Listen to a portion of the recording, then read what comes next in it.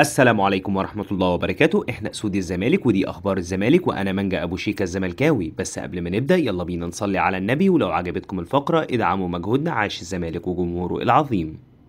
الزمالك بدأ الثلاثاء تدريباته استعدادا لمباراته المقبلة في الدوري. قام الجهاز الفني بقيادة جوزي جوميز بتصعيد محمد إبراهيم الظهير الأيمن لفريق الشباب مواليد 2005 للمشاركة في التدريبات الجماعية التي أقيمت مساء أمس الثلاثاء وجاء ذلك وفقا للسياسة المتبعة بتصعيد أفضل العناصر المميزة بقطاع الناشئين بالنادي للمشاركة مع الفريق الأول وشارك محمد إبراهيم في الميران بشكل كامل والذي شمل الفقرة البدنية والتأهيلية والحصة الخططية والتقسيم الفنية.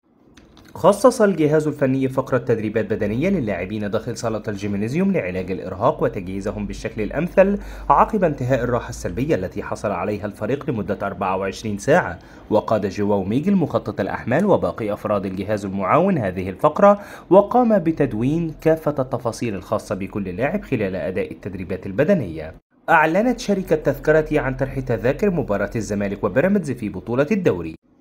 كشف مصدر داخل الزمالك عن خطة الزمالك لتدعيم صفوفه مع التأكيد على أن التركيز تركيز الإدارة في الوقت الحالي ينصب على حل أزمة إيقاف القيد وتسوية المستحقات المالية وأوضح أن التعاقد مع صفقات جديدة لا يزال غير مدرج على قائمة أولويات مجلس الإدارة وذلك لوجود أمور أكثر إلحاحا تتطلب المعالجة والزمالك يسعى جاهدا لإنهاء جميع المديونيات الخاصة بإيقاف القيد في أقرب وقت ممكن تمهيدا لفتح باب الانتقالات وتسجيل اللاعبين الجدد وذكر أن أن دفع مستحقات اللاعبين المتأخرة يتصدر قائمة أولويات مجلس الإدارة وذلك لتجنب حدوث أي أزمات جديدة تهدد استقرار النادي وقيده مرة أخرى. وأكد أن ضم صفقات جديدة لن يتم على حساب حقوق اللاعبين الحاليين مشددا على التزام الإدارة بتسديد جميع المستحقات.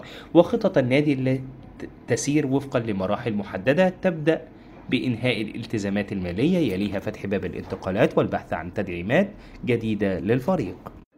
خاض لاعبو الزمالك الذين شاركوا في مباراة الداخلية تدريبات تأهيلية واستشفائية على هامش الميران واكتفت هذه المجموعة بأداء الفقرة البدنية مع باقي اللاعبين داخل صالة الجيمنيزيوم ثم خوض تدريبات تأهيلية واستشفائية دون المشاركة في باقي فقرات الميران الجماعي بناء على قرار الجهاز الفني بقيادة البرتغالي جوزيه جوميز يلتقي الزمالك مع نظيره بيراميدز يوم الجمعة المقبلة ضمن لقاء مؤجل من الجولة 18 في بطولة الدوري المصري. جوميز استقر على الدفع بمصطفى الزناري لقيادة دفاع الزمالك أمام بيراميدز لتعويض غياب المثلوث الذي يغيب بسبب الإيقاف وقام البرتغالي خلال ميران اليوم بالحديث مع الزناري عن بعض التعليمات الفنية المطلوبة منه. عقد جوزيه جوميز جلسة مطولة مع اللاعبين في حضور عبد الواحد السيد قبل انطلاق التدريبات الجماعية التي أقيمت مساء أمس ووجه جوميز التحية للاعبين على المجهود المبذول خلال الفترة الماضية في ظل ضغط المباريات كما شرح العديد من الأمور الفنية التي حدثت في مباراة الداخلية وطالب من اللاعبين مواصلة إدارة أداء التدريبات بقوة وتركيز واستمرار الانتصارات خلال اللقاءات القادمة. شهدت تدريبات الزمالك مشاركة سيف فاروق جعفر في جزء من المران واكتفى بالمشاركة في الفقرة البدنية بجانب الحصة الخططية ولم يشارك في التقسيمة الفنية وفقا لقرار الجهاز الفني بالتنسيق مع الجهاز الطبي طبقا للخطة الموضوعة لتجهيزه وعودته للمشاركة بشكل كامل على مراحل وأدى فقرة تدريبات تأهيلية إضافية تحت قيادة ماريو توملينو فيتش المعد البدني للفريق من أجل تجهيزه بأفضل شكل للفترة المقبلة. صالح جمعة شقيق عبد الله جمعة لاعب الزمالك السابق في يناير اللي فات والميركاتو اللي عمله الزمالك. أنا ما كنتش مقتنع بيه خالص وما كنتش مقتنع باستبعاد عبد الله وكنت شايف إن استبعاد عبد الله في خيانة ليه. الناس ما كانتش أمينة. أنا كلمت أحمد سليمان وعبد الواحد السيد. الناس دي ما كانتش أمينة مع واحد من كباتن الفريق اللي فضل فيه سبع سنين وجاب 12 بطولة للنادي. ما حدش في مصر يقدر ينكر إن عبد الله جمعة كان راجل بيلعب بقلبه كان بيموت نفسه وبيعشق الزمالك. صالح جمعة أنا رحت واتكلمت مع الكابتن أحمد سليمان وقال لي عبد الله موجود معانا والناس دي شالت عبد الله من القائمة قبل يوم واحد من غلق القيد ده ما كانش بيعمله الأهلي. عبد الله آخر ثلاث شهور كان عنده مسق ولعب مع الأهلي مباراة مهمة وكانوا بيرجعوه بالحقن. كنت بقول له أنت لسه صغير على الحقن دي. كان يقول لي عشان ما فيش حد أنا مش مقتنع إنك تمشي تمشي لاعب صغير عنده 27 سنة وتقعد لاعب عنده 40 سنة طالما هيسيب عبد الله جمعة يكون عشان خاطر لاعب هيديني سنة واثنين وثلاثه وعشرة. أنا من أكتر اللعيبة اللي اتفرجت عليها ولعبت معاها محمد عبد الشافي لاعب كبير جدا ومن أحسن الأظهرة اللي شفتهم في حياتي وفي التاريخ بس أنا كنادي الزمالك استفدت من عبد الشافي إيه في السنة دي؟